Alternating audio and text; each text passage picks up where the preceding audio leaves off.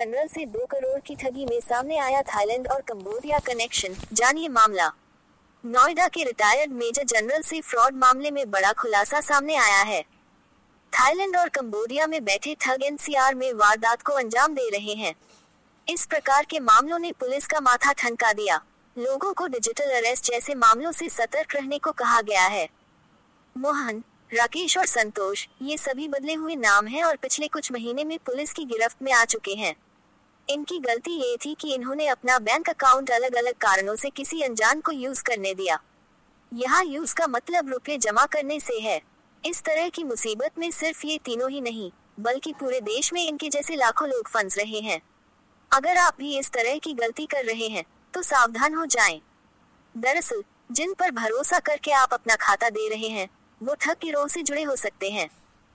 नोएडा में retired major general से दो करोड़ रुपए की ठगी में भी जालसाजों ने सारी रकम किराए के खातों में ही ट्रांसफ़र कराई थी।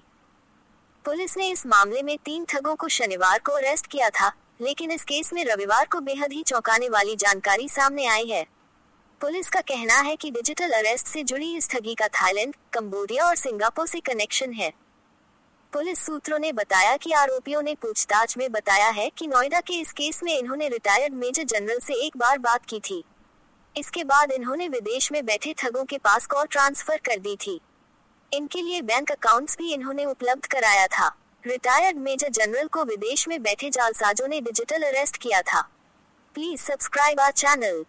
गिरफ़्तार तीनों ठगों ने पुलिस को बताया है कि इनका काम थाईलैंड, कंबोडिया और सिंगापुर में बैठे साइबर क्रिमिनल्स को बैंक अकाउंट्स उपलब्ध कराना और नंबर मुहैया कराना है। इस काम के लिए ये लोग पीजी में रहकर पढ़ाई करने वाले स्टूडेंट्स को टारगेट करते हैं। उन्हें कुछ कमीशन देने का झांसा देकर बैंक अकाउंट किराए पर लेते हैं और फिर उसमें पैसा आता है। पीजी और अन्य खर्चों की वजह से छात्र भी आसानी से जाल में फंस जाते हैं। इसके अलावा ये लोग मजदूरों को भी कुछ पैसा देकर उनके नाम से सिम निकलवाते हैं, जिसका इस्तेमाल ठगी के लिए होता है। पहली कॉल इन्हीं नंबरों से भारत से की जाती है। इसमें ट्राई कर्मी और कुरियर कंपनी के कर्मचारी बनकर लोगों को कॉल कर पार्सल पकड़े जाने की सूचना देते हैं। इसके बाद कॉल विदेश में फर्जी पुलिस वालों को भेज दी जाती है। यहाँ से सारा खेल शुरू होता है।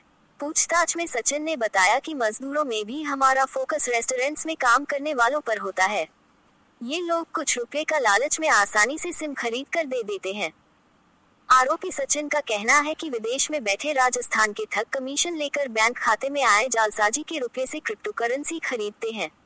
इसके बाद इन क्रिप्टो करेंसी को आसानी से विदेश में गिरोह के पास भेज देते हैं। पुलिस अधिकारियों के मुताबिक सभी स्टूडेंट्स को भी जाँच के दायरे में लिया जाएगा। अभी गैंग का एक सरगना मुंबई क्राइम ब्रांच के पुलिस की गिरफ्त में है। उससे भी पूछताछ में की जाएगी।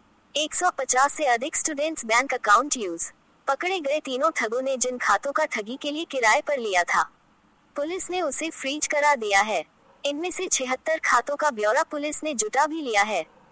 पुलिस ने बताया कि गिरफ़्तार इन तीनों बदमाशों की ओर से विदेश में बैठे गैंग को ये खाते दिए गए थे।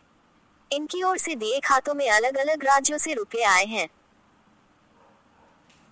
तमिलनाडु में हुई ठगी में आठ अकाउंट, कर्नाटक में बीस खाते, महाराष्ट्र में तेरह खाते, तेलंगाना में सात, आंध्र प्रदेश में पाँच, दिल्ली में तीन, हरियाणा में तीन, पश्चिम बंगाल में तीन, गुजरात में दो, झारखंड में दो, केरल में दो, उड़ीसा में दो, राजस्थान में दो, उत्तर प्रदेश में दो, छत्तीसगढ़ में एक और उत्तराखंड में एक बैंक खाते में रुपए मंगाए गए।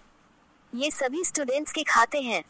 डिजिटल अरेस्ट और निवेश के नाम पर ठगी जैसे मामलों को कम करने के लिए नोएडा साइबर थाने की पुलिस ने एडवाइजरी जारी की है।